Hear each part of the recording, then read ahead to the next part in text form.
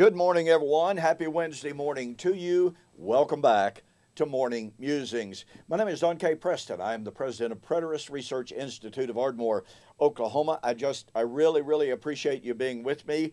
I hope you're benefiting uh, from these videos, and I'm hearing hearing from an increasing, I mean, a really increasing number of you who are expressing your appreciation uh, for what I'm trying to share with you. We're looking at, we obviously still studying the Olivet Discourse. Now, look, let me put it like this. If it can be shown that Jesus' parable of Matthew 25, 1 to 13, concerning the coming of the bridegroom for his bride, if that took place at the time of the fall of Jerusalem in AD 70, that means that the Olivet Discourse is not divided into two subjects. Number one, the Lord's coming in AD 70, and number two, the end of time. It means that the attempt to divide Matthew 24 at verse 36, at that so called continental divide of the Olivet Discourse, in which Jesus said, But of that day and hour knows no man, that is a failed claim. It's a false claim. So, what I've been sharing with you is just a little bit, all right? I mean, just a little bit. And don't forget, almost the last day for our three item special for the month of September. Uh, we shall meet him in the air, the wedding of the King of Kings. Hosea, 30 lessons, Paul, the source of Paul's doctrine of the resurrection and the remarriage, by the way, as well as have heaven and earth passed away. Normal price if you purchase these separately, independently, it would cost you $56, almost $57. For the month of September 2020, U.S. orders only, total delivered price $35. So go to my website, donkpreston.com, BibleProphecy.com, and there's a banner right up at the top that will help you in ordering that. Please take advantage of that before the before the time is up. Now, Monday and yesterday, I shared with you the connection between Revelation chapter 17 and 18 and Ezekiel chapter 16 and 23. Now, I'm, go- I'm not going to go into chapter 23, uh, and that's not because I'm sque- squeamish, by the way, uh, but for t- time consideration. But I do want to share something with you about the connections that demonstrate and that go ahead and, and confirm the fact that Babylon of Revelation was Old Covenant Judah. All right? And if Babylon of Revelation was Old Covenant Judah, since the time of her death, the time of her destruction, is also the time of the marriage, the remarriage of guess what? All 12 tribes, because the New Jerusalem is built upon what? 12 foundation of the apostles. You have the 12 gates for the apostles. This is the restoration of Israel. But the restoration of Israel would lead to the calling of all nations, not just Israel. The salvation for the nations is built upon the restoration of all 12 tribes. The salvation for the nations is built upon the salvation for Israel. That's the biblical narrative. Now, very quickly, I'm already running out of time here. You know, this is quick. Okay, I want you to notice, as I called your attention to yesterday, the Lord called Judah. Now, this is in Ezekiel's day. Let's make no mistake, this is in Ezekiel's day. He is describing Judah and Jerusalem in his day their sin that was about to lead to their national destruction and being carried off into Babylonian captivity. Well, guess what? In Revelation, we find these same terms, same motifs, same themes being applied to this spiritual city called Babylon, and as we'll see more than that. Only in Revelation it cannot pardon me, cannot be literal physical Babylon in Iraq. It is, in fact, a spiritual designation of a different city that, due to her sin, due to her adulterous ways, is being identified as Babylon. Let me read to you again from Ezekiel chapter 16, verse 32. You are an adulterous wife who takes strangers instead of her husbands. Men make payment to all harlots, but you have made your payments to the nations. I, I mean, this is almost unheard of, right? I mean, it's just unthinkable. A woman so immoral. But remember, this is not just a this is not a woman who's simply chosen a life of immorality. This is an adulterous wife. And thus I suggest to you when this exact same precise language is being used of Babylon in Revelation, of that city spiritually designated as Babylon, it lets us know who Babylon was. And it wasn't Rome, it wasn't the United States, it wasn't the Roman Catholic Church. It was Old Covenant, Judah, and Jerusalem, as we shall see.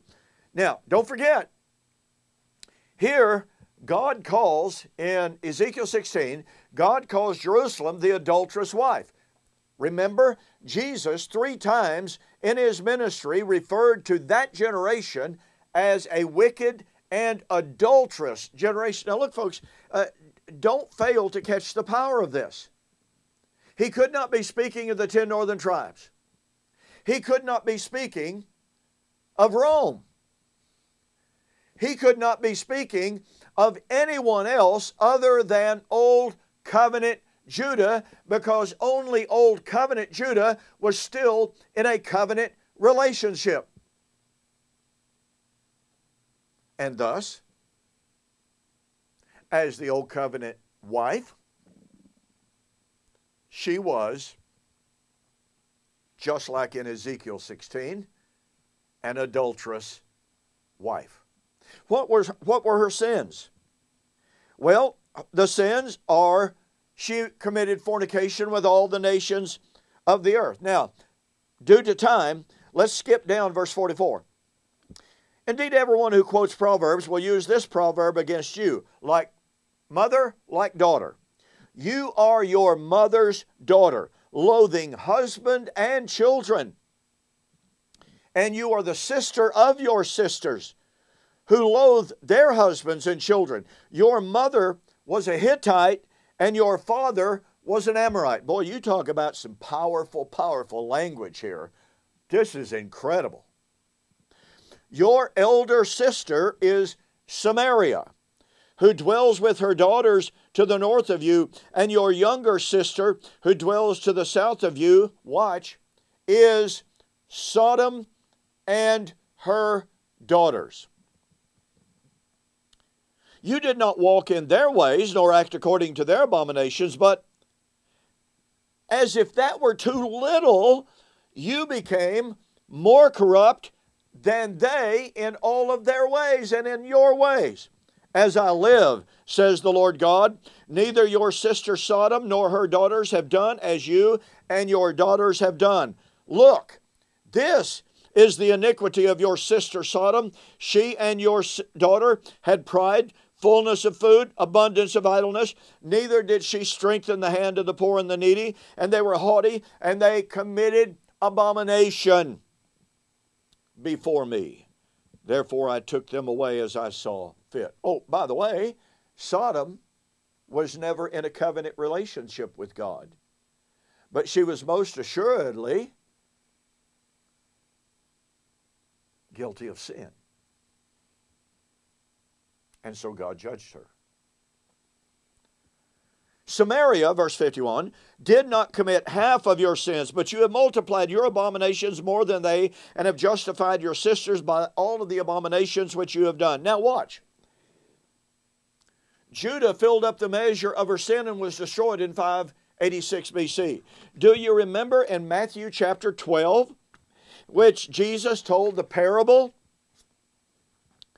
And he tells us when an unclean spirit goes out of a man, he goes through dry places seeking rest and finds none.